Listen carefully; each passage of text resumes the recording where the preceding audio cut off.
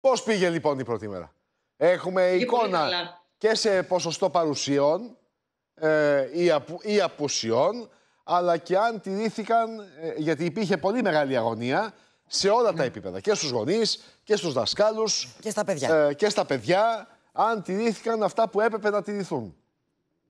Για αρχή να πούμε το ποσοστό ότι ήταν στο 80%, 79 με 80% τα στοιχεία τα οποία έρχονται από τις περιφερειακές διευθύνσεις σε όλη την Ελλάδα.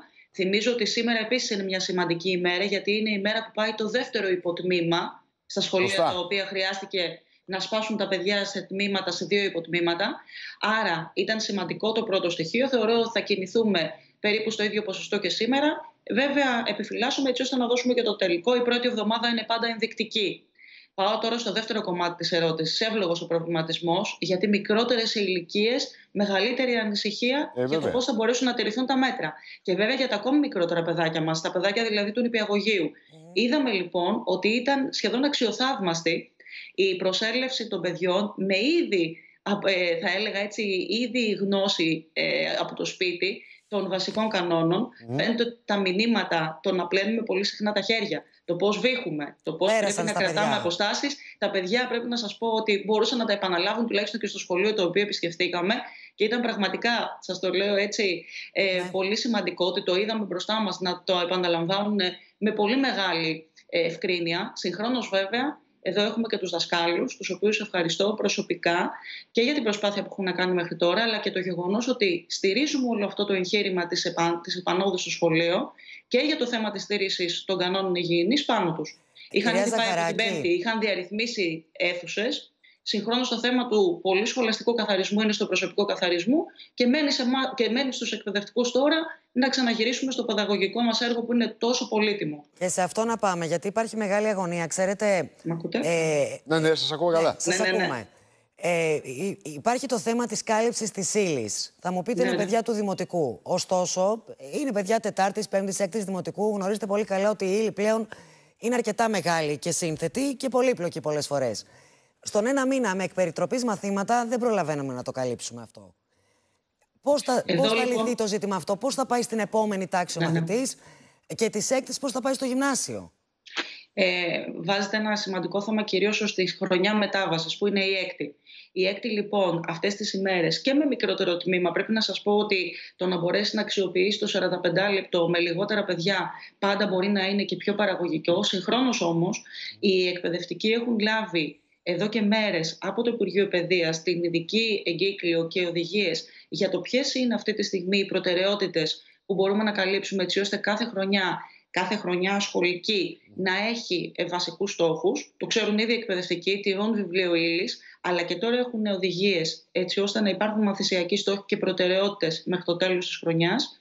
Και βέβαια, δεν μιλάω για την έκτη τώρα γιατί θα πάει στο γυμνάσιο την άλλη χρονιά και εκεί για τις υπόλοιπες τάξεις θα αξιοποιήσουμε και την αρχή της επόμενης χρονιάς. Κρατάμε όλα τα βιβλία, το έχουμε πει, όλα τα παιδιά πρωτοβάθμιας και δευτεροβάθμιας εκπαίδευσης, έτσι ώστε και ο δάσκαλος ή εκπαιδευτικός της επόμενης τάξης να μπορέσει να αξιοποιήσει Άρα ουσιαστικά... τις πρώτες ημέρες για να μπορέσει να κάνει και κομμάτι της ύλης και τότε. Άρα ουσιαστικά θα γίνει επιλογή της βασικής ύλης από όλα τα βιβλία των, των παιδιών, έτσι, για αυτό το μήνα λέω τώρα. Μπορούν, μπορούν Έχουν οι δάσκαλοι, οι κατευθύνσεις ή είναι κατέ... Υπάρχουν. Ναι, ναι. Υπάρχουν, ναι, υπάρχουν από το Ινστιτούτο Εκπαιδευτικής Πολιτικής. Είναι καταγεγραμμένες. Ε, δεν είναι ο κάθε δάσκαλο δηλαδή τι θα επιλέξει να διδάξει αυτά τα 10-15 μαθήματα που.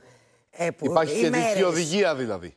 Υπάρχει... Ξέρετε ότι υπάρχουν, υπάρχουν οδηγίες, ναι. αλλά ο κάθε δάσκαλος και κάθε δασκάλα έχει την απόλυτη γνώση ούτως ή άλλως στη τάξης της δυναμικής, αλλά και της ταχύτητας μπορεί ούτως ή άλλως να ακολουθήσει. Αυτό κάνει κάθε χρονιά και κάποια μαθήματα πολλές φορές να χαθούν. Ξέρει ο δάσκαλος και δασκάλα και ο εκπαιδευτικός το πώς μπορεί καλύτερα να αξιοποιήσει το χρόνο με την τάξη. Υπάρχουν όμως και οι βασικές κατευθύνσεις, οι οποίες έχουν δοθεί από το Ινστιτούτο Εκπαιδευτικής Πολιτικής και σταλεί από εμάς, έτσι ώστε να υποβοηθήσουν όσο γίνεται για αυτή την περίοδο που μπορεί να είναι πιο Ωραία. πυκνή σε, στο περιεχόμενο και βέβαια επειδή είναι περιορισμένη σε χρονικό διάστημα, θυμίζω μέχρι 26 Ιουνίου τα δημοτικά ανοιχτά. Κυρία, κυρία Υπουργέ, θέλω να ρωτήσω αν αυτή η διαδικασία που ακολουθούμε τώρα, αν αυτό το, το μίνι άνοιγμα ε, είναι διαδικασία πιλότος. Αν δηλαδή ε, προετοιμαζόμαστε για τη διαχείριση του, του ενδεχόμενου νέου κύματος το φθινόπωρο. ή αν ε, η πρώτη επιλογή θα είναι να ξανακλείσουμε τα σχολεία. Όχι, θα έλεγα ότι οποιαδήποτε επιλογή έχουμε θα είναι επιλογή η οποία θα είναι συνδυασμός και των συμβουλών που έχουμε και των υποδείξεων των ειδικών. Yeah. Ναι. Συγχρόνως όμως έχουμε πει ότι η πρόθεσή μας, και αυτή είναι η βασική πρόθεση, είναι να ξεκινήσει το σχολείο νωρίτερα. Και αν χρειαζόταν, απευκταίο, γιατί σημαίνει ότι αν χρειαστεί, σημαίνει ότι θα έχουμε και άλλες συνθήκες ως προς την αντιμετώπιση του ιού. Αν χρειαζόταν να εφαρμόσουμε μέτρα τα οποία εφαρμόζουμε αυτή τη στιγμή, προφανώς προφανέστατα θα είμαστε έτοιμοι να το κάνουμε.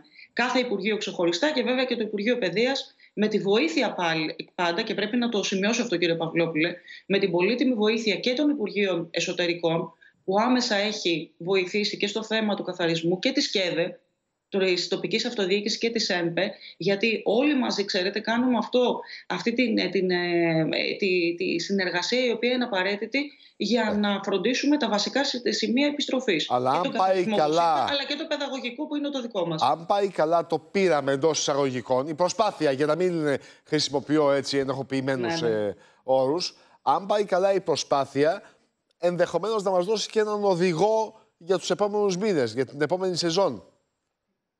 Εγώ θα ήθελα να ελπίζω, κύριε Παυλόπουλε, επειδή πιστεύω, αν θέλετε, σε, σε, στην επιστροφή, στη νέα πραγματικότητα και ελπίζω πραγματικά ότι η χώρα μας θα έχει ξεφύγει από αυτή τη δυσκολία, έτσι ώστε να πηγαίνουμε με όρους με αυτούς που ξέραμε, κανονικά όλες τις μέρες στο σχολείο για όλα τα παιδιά. Κατά τα άλλα, όμως, θα έχουμε σίγουρα, θα έχουμε γνωρίσει, θα έχουμε αποκτήσει εμπειρία για το τι σημαίνει εκ μάθηση το τι σημαίνει εκπεριτροπής πρόγραμμα, τι σημαίνει κυλιόμενο διάλειμμα. Είναι καινούργια πράγματα τα οποία μπήκαν στη ζωή μας απότομα. Βλέπουμε ότι λειτουργήσαν με τη δευτεροβάθμια ομαλά και τώρα πάμε στο μεγάλο εγχείρημα για την πρωτοβάθμια και όλες τις μονάδες ε, της ειδικής αγωγής και εκπαίδευσης. Άρα είναι πράγματι πολύ σημαντικές ημέρε που ζούμε. Δείκτης, αν θέλετε, αλλά και μεγάλο αποτύπωμα πώς μπορούμε να εφαρμόσουμε καινούριε μεθόδους που δεν τις ξέραμε και να, να αποτιμήσουμε και το παιδαγωγικό αποτύπωμα αμέσως μετά. Γιατί θα συμφωνήσουμε όλοι ότι και η προηγούμενη περίοδος που εφαρμόσαμε την τηλεκπαίδευση, αλλά και η τωρινή περίοδος που επιστρέφουμε πάλι στις τάξεις, θα είναι μια σημαντική στιγμή, η οποία πρέπει όμως να αποτυπωθεί. Τι παιδαγωγικό ε, αποτύπωμα αφήνει και τι παρακαταθήκη αφήνει επίσης, κυρίως ως προς τα ψηφιακά εργαλεία. Φανταζόμαστε και στα δημοτικά θα βγάλετε τα ποσοστά της προσέλευσης των, των μαθητών, όπως κάνατε και στα γυμνάσια ναι, και στα βεβαίως. λύκεια. Γι' αυτό σας είπα το 80% στην αρχή. Ήταν το ναι. χθεσινό. Ναι. Και το χθεσινό. Να δούμε και σήμερα ποια θα είναι η προσέλευση για να έχουμε ένα συνολικό αριθμό. Θα ξαναπώ ότι για τα ολοήμερα υπάρχει γκρίνια από τους γονείς ε, που εργάζονται και έχουν κληθεί να επιστρέψουν στην εργασία τους. Το γνωρίζετε κι εσείς αυτό. Ναι, ναι, ναι. Γιατί δεν έχουν να κάνουν με τα παιδιά τα οποία πρέπει να μείνουν μακριά από ευπαθείς ομάδες, ηλικιωμένους παππούδες και γιαγιάδες. Είναι το μελανό ε, σημείο αυτό ε, και κομμάτι στην επιστροφή των, ε, των παιδιών μας στα, στα σχολεία. No. Λοιπόν, το αντιλαμβάνομαι είναι ένα μήνυμα το οποίο ε, λαμβάνουμε. Δώσαμε αυτή τη στιγμή έμφαση στο πρωινό τμήμα, γιατί ξέρετε καλά ότι θα υπάρχουν και εκπαιδευτικοί οι οποίοι θα χρειαστεί να πάρουν τις άδειες ειδικού σκοπού και βέβαια ανήκουν σε ευπαθή ομάδα. Ναι. Σημαντικό που επιστρέφουν τα παιδιά, χτίζουμε το πρωινό τμήμα και βλέπουμε ούτως ή άλλως για οτιδήποτε άλλο χρειαστεί να αλλάξει στην πορεία.